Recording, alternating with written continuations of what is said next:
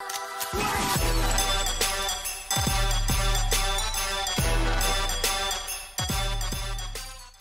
Привет, привет, привет, песеры, с вами Морж, сегодня вторник, и самое время обозреть игроков, которых нам ввели вчера. Собственно, трех эпических игроков, 8 э, специальных игроков. Давайте же посмотрим, действительно, здесь есть ли здесь хорошие претенденты на попадание в ваш основной состав.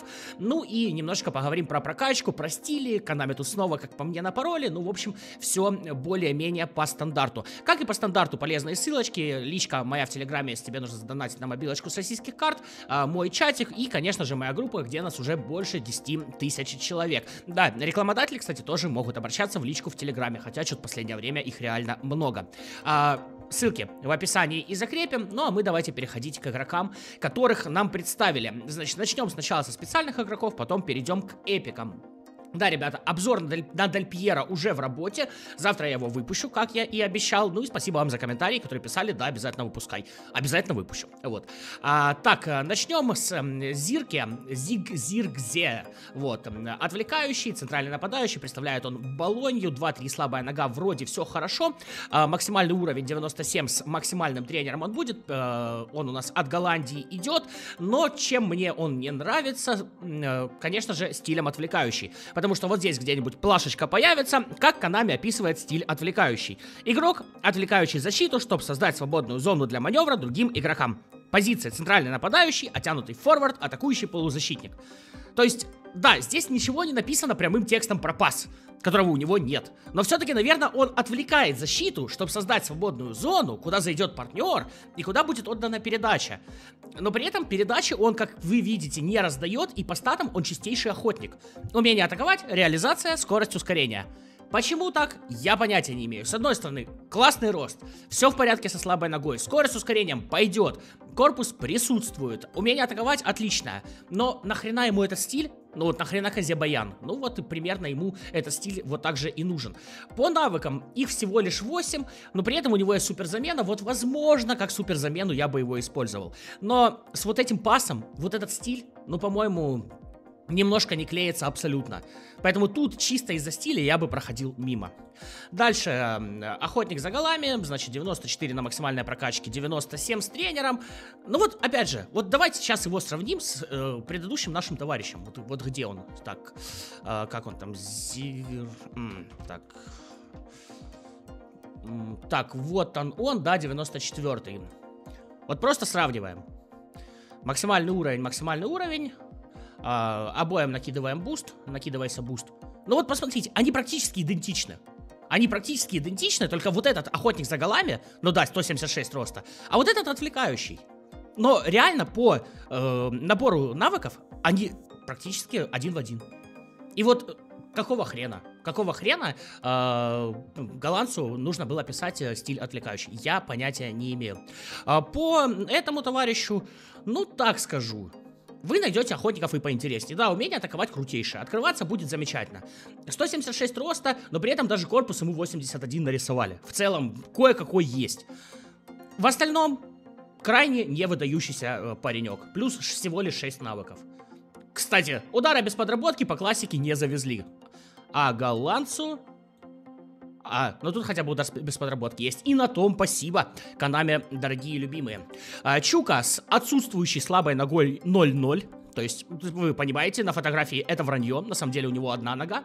А, стандартная карта бегунка. Скорость ускорения дребла. Все. То есть, вот что хотите с ним, то и делайте. Реализация 77, умение атаковать 83. Ну, такое себе пойдет, но не более того. Пас отсутствует.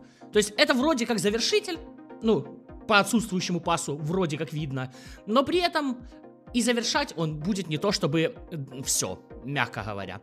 3, 3, 7 навыков. Э, аналогично для завершителя удара без подработки у него нет. Зато у него есть дальние удары и подкрутка шведка. Но подкрутка шведка ему без базара нужна э, при такой-то слабой ноге. Но при подкрутке 73 задаешься вопросом. А может этот навык тут вообще немножечко лишний? Ну, Канами виднее. То есть единственное, что есть на удары, это дальние удары. Сила удара 84. М -м, слабовато, слабовато. Я бы шел мимо. Да, чисто бегать будет, не вопрос. Но суперреализатор нет. Распасовщик даже среднего уровня нет. Чисто бегунок? Ну, не знаю. А, далее, Офик у нас, который будет 99-м. Да. Здесь уже как бы и умение атаковать 91, и реализация 85 в хороших пределах, 85-89 ускорение, балансик 89, корпус отсутствующий полностью, хорошая дребла, пас, ну, чуть получше, чем у предыдущих, да, назовем так. То есть это тоже, скорее всего, завершитель, он тоже у нас, э, он имеет стиль оттягивающийся форвард, не отвлекающий на, это, на этот раз. И, наверное, наверное, неплох. В принципе, я его вчера выделял в паках, 3-3 слабая нога отлично. Умение атаковать для офа отлично. Реализация выше среднего. Дрибла окей. Скорость с ускорением окей. Э, пас низом хотелось бы больше, но все-таки вполне себе пойдет. Ребят, ну 4 навыка. 4 навыка. Ну, ну это реально какое-то издевательство. Канами делает 99-го, мать его, игрока и дает ему 4 навыка. Ну, хотя бы дали удар без подработки. Спасибо. Вот. Хитрость, удары по восходящей, супер замены. И еще один навык работает только когда он выходит с замены. То есть, если вы его ставите в основной состав, у него изначально 3 навыка. Не вопрос. Плюс 5 еще можно добавить. Но 3 изначально... Для 99-й карточки, да, на секундочку. Канами, Канами, Канами. А, Кин, либо Кен, кстати, я когда гуглил, написано и так, и так, не знаю почему. А, вот Кен вполне себе. Кстати, он даже изначально с 21-й, даже 20-й части его многие использовали. То есть он такой, и с умением атаковать, и с реализацией, игра головой есть, и прыжочек есть, и скорость с ускорением хороший, и сила удара присутствует. Он универсален. Он универсален, не слишком хорошая слабая нога, но при этом отличный стиль охотник за голами. А, навыков, опять же, не досыпали. Всего лишь 7, но удар без подработки спасибо завезли. А, по остальному, да, 5, удар, 5 навыков еще можно будет добавить. Штрафные он, само собой, не бьет. Дребла, ну, могла бы быть и больше при его росте. Все-таки он там не громадный какой-то чувак. Но, в принципе, пойдет. Пас отсутствует, чистейший замыкатель. Умение атаковать, реализация, скорость, ускорением. Э, вот мне нравится то, что у него физические параметры все э, в зеленой зоне. То есть и сила удара, и прыгучесть, и корпус, и балансик. В принципе, такого футболиста, чтобы у нас и баланс был 82, и корпус 84, не, не так уж много таких футболистов на самом-то деле. Поэтому Кен, да, вполне себе пойдет. Либо же Кин, как, как кому удобно. А, Тюрам, вот снова отвлекающий, снова отвлекающий, и пас низом 72. И это опять чистейший охотник за голами. С хорошими, отличными статами физическими. 192 роста, слабая нога не очень, но при этом 88 умение атаковать, 87 реализация. Опять же, вот он принял мяч, этот пробежал, отвлек. Дальше, передачу как ему выдавать? 72 по снизам. 72. Ну, ну, это ужасно. То есть у меня такое ощущение, что Канами, вот э, можете найти серию Южного парка, даже, скорее всего, это не серия будет, а вырезка из серии, Э, где американцы биржевики, э, этот, как они коди, этот, короче, выставляют стоимость акций. У них там такой круг, короче, типа, что делать в экономические кризисы, там, как помогать бан банкам и так далее. Они отрубают курице голову, кидают его, короче, курица бегает без головы, истекая кровью, падает, и вот где упала, что там написано, вот то они и делают. Вот у меня такое ощущение, что у Канами такой же круг есть. Вот круг, где написаны все стили, они отрубают курицу голову, кидают, она там побегала-побегала, где упала, такой стиль игроку и нарисовали. По навыкам то же самое. То есть рандом абсолютнейший. Ну, реально, по статам этот футболист просто не подходит для своего стиля. Вот просто не подходит. Но при этом статы хороши. Вот было бы здесь не отвлекающий, а охотник за голами, прям хорошо. Прям хорошо, реально, чё жаловаться. Отличная физуха, отличные, в принципе, умения атаковать и реализация почти под 90. Даже подкрутка присутствует. По навыкам здесь, конечно, все получше, чем мы видели до этого. 10 навыков. А, так, так, так, так, так. Но пф, хрен вам, а не удар без подработки. Как? Канами, как? Ну вот просто, ну опять же, при помощи курицы. По-другому никак. Акробатика, удар с подсечкой, подсечка канала, проброс между ног, игра головой, дальние подкрутки, дальние удары, марсельская рулетка, одиночный контроль, пасы в разрез. А, опять центральный нападающий у нас без удара, без подработки. Стиль левый, удара без подработки нет, спасибо Канаме. Ну или спасибо курице, которая упала не на те, а, собственно, клеточки, которые нам хотелось бы. Иммобиля, во всех частях я его хвалил, максимально приятный форвард, вот как Лаутара. Вот у меня два, наверное, игрока, которых я постоянно так... А, вот, ладно, три. Ромарио еще тоже выделю. Лаутара, Ромарио и... Э, э, и Мобиля. Вот просто максимально приятный в использовании товарищ. Фиг его знает. По статам смотришь, да, классное умение атаковать, реализация, головой играет, прыгает. Скорость с ускорением, звезд с неба не хватает, сила удара хорошая.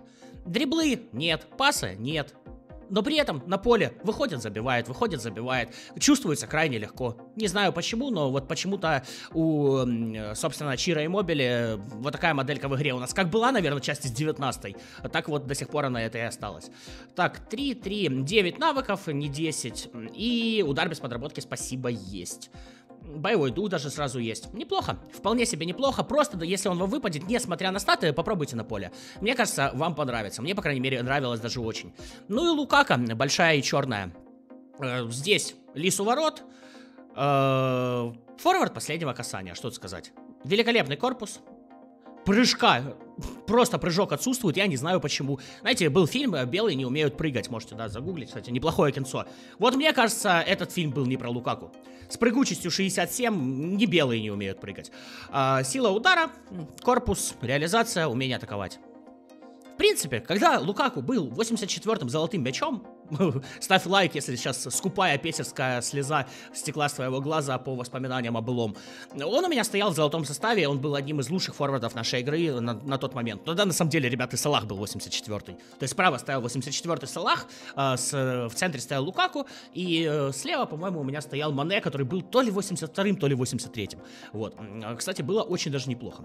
Э, по навыкам э, у Лукаку, естественно, десяточка, удар без подработки есть основной навык для центрального нападающего. А, в принципе, дальние подкрутки, хотя у него есть подкрутка, неплохо. Вот способности капитана здесь, конечно, лишневатые. Как по мне, хитрость немножко лишневатая. Вот, по-моему, вчера я как раз про хитрости говорил, вот, э, мне написали в комментариях, да ты что, если человек с хитростью, ты знаешь, сколько он штрафных заслуживает? Ребят, я вам так скажу, вот зайдите на мой канал э, и посмотрите финалы турниров. Там в том числе присутствуют футболисты с хитростью. Там реально один штрафной на 5 матчей, а то и на 6. Если у тебя, э, так сказать, э, твой товарищ стреляет один раз из шести, мне кажется, стоит сходить к врачу. Э, конечно, во Мстителях э, говорили про осечку один раз из пяти, вот. Вот один раз из пяти осечка, это допустимо. А один раз из шести попадания, это, как по мне, ну не очень хорошо. В общем, в целом, я не знаю, по крайней мере, по моим матчам, по матчам финалов, э, которые я комментирую, я не вижу штрафных в игре практически вообще. Ладно, переходим к бестиарии за таланты. Напоминаю, 76 матчей, 25 забитых голов, 0 трофеев. 0 трофеев э, за Аталанту. И только из-за того, что партнерка с Аталантой, Канами смогли подписать. Ну, вряд ли смогли, они ему позвонили. Я думаю, такие, он такой, кто? Меня в игру? Вы что, вы что там, вы рехнулись? Может, нормального игрока подпишите, а? Они такие, ну блин, ты хоть единственный из таланты, там, который хотя бы более-менее, у нас там да, отец, сын Перкасси были, мы их заебалы раздали, ну там вообще все жопа. Вот ладно, подписывайте, короче, с вас пивас и чипсы. Вот, вот, подписываем такой контракт, пивас и чипсы на три дня. И я готов появиться у вас в игре.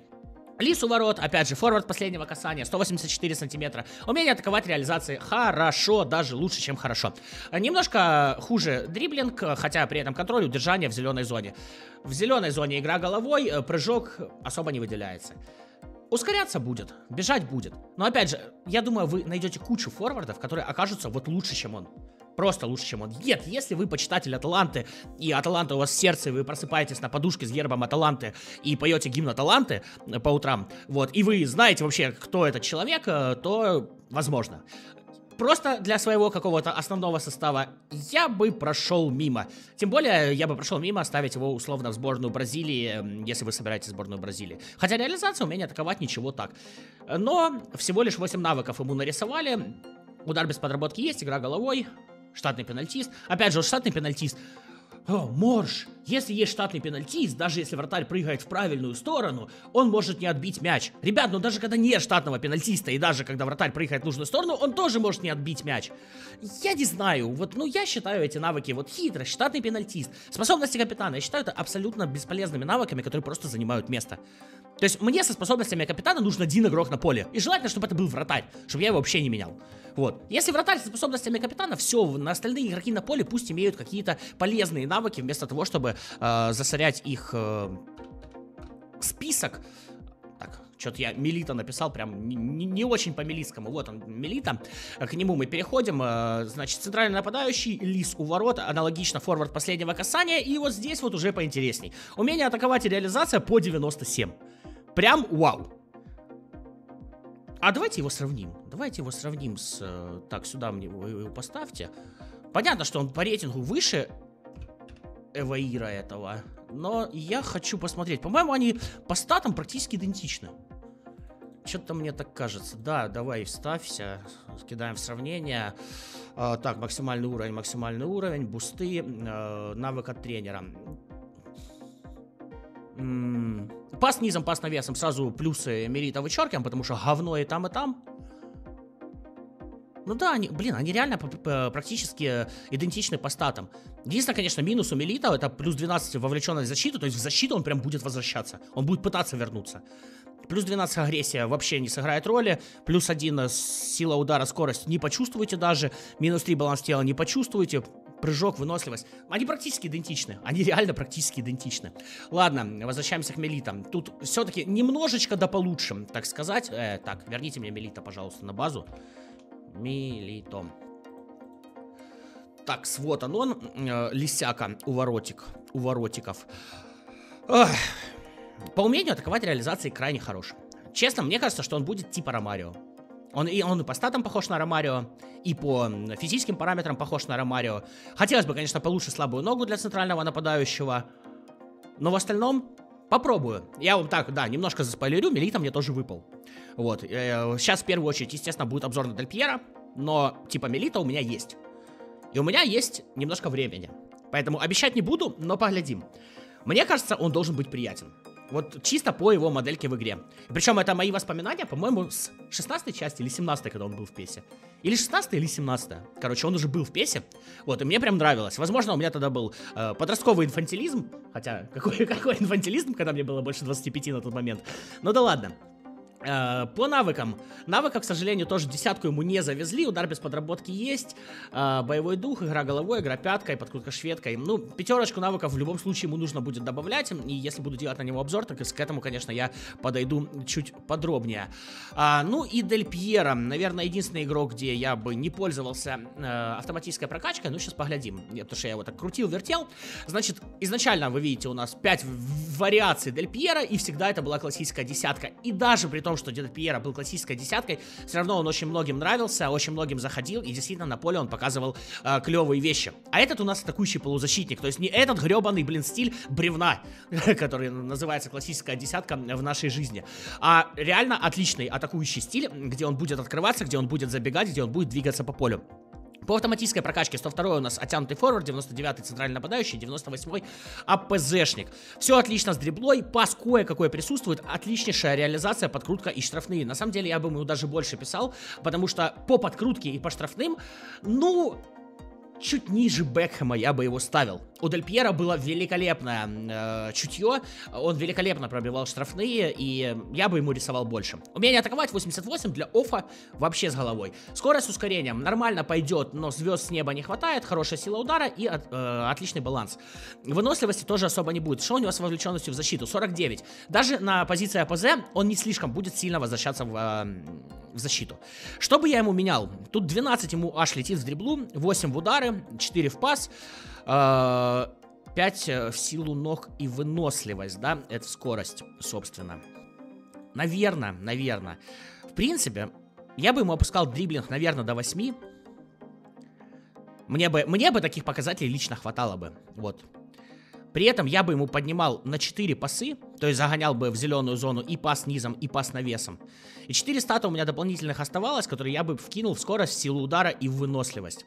Таким образом, я получил бы 101 оттянутого форварда с позиции атакующий полузащитник, но с практически полностью выше зеленой атакой, ну, кроме игры головой, понятное дело, 173 сантиметра, защита нас вообще не гребет, и по силам 83 скорость, 86 ускорение, 90 сила удара, 90 балансик. Как по мне, вот так симпатичнее смотрится. Но, опять же, тут каждый решает сам, как ему прокачивать. Я бы ему усиливал пас, уменьшая дриблу, потому что я не особо дриблер. По другим позициям, качать ли его там на ЦН, например, или на атакующего полузащитника, мне кажется, нет. И центрального нападающего вы найдете хорошего, без проблем. И атакующего полузащитника вы найдете хорошего, без проблем. Аналогично вчера задавали вопрос, типа, э, Дель Пьера или м, Кройф? Честно, ребят, играл бы в, в обоих. Вот реально, играл бы в обоих. Оба хороши. Кого-то лучше, прям сильно на голову я бы не выделил. Но Дель Пьеро пока что Опять же, я еще не все матчи сыграл, естественно, все это не нарезал. Пока что мне дико нравится. Поэтому, если есть возможность, э, я бы советовал вам его поймать.